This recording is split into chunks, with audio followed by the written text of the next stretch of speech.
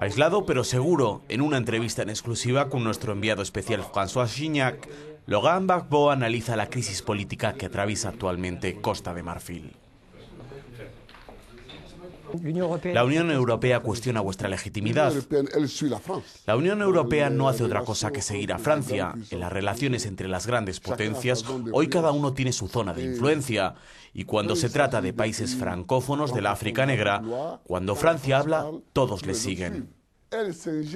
Francia interfiere de la peor manera. En todas las resoluciones que ha tomado la ONU sobre Costa de Marfil, es Francia la que ha escrito el proyecto. Es algo que hemos planteado varias veces. El país está dividido. Se habla de una posible guerra civil. No creo en absoluto en una guerra civil, pero evidentemente si las presiones continúan, son ellas las que impulsarán la guerra, el enfrentamiento.